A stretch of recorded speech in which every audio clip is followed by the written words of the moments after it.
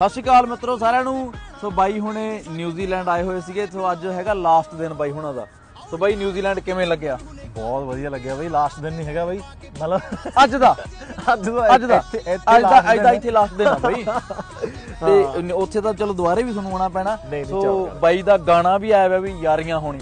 ਨਵਾਂ ਦੋ ਤਿੰਨ ਦਿਨ ਪਹਿਲਾਂ ਰਿਲੀਜ਼ ਹੋਇਆ ਸੋ ਬਾਈ ਤੋਂ ਆਪਾਂ ਗਾਣਾ ਸੁਣਦੇ ਬਾਈ ਗਾਣਾ ਸੁਣਾਓ ਯਾਰ। ਜ਼ਰੂਰ ਬਈ। ਹੋ ਜ਼ਿੰਦਗੀ ਦੀ ਪੁੱਛਦੀ ਫਿਲਾਸਫੀ ਤੂੰ ਜੱਟੀਏ ਨੀ। ਉਹ ਦੱਸ ਹੀ ਦਈਏ ਨਾ ਕੁਝ ਮਨ ਵਿੱਚ ਰੱਖੀਏ ਨੀ।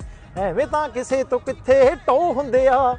ਸਿੱਕੇ ਦੇ ਨਹੀਂ ਪਹਿਲੂ ਜਿਵੇਂ ਦੋ ਹੁੰਦੇ ਆ। ਜਵਾਬ ਦੋ ਹੀ ਤੇਰੇ ਕੀਤੇ ਹੋਏ ਸਵਾਲ ਦੇ ਬਿੱਲੋ।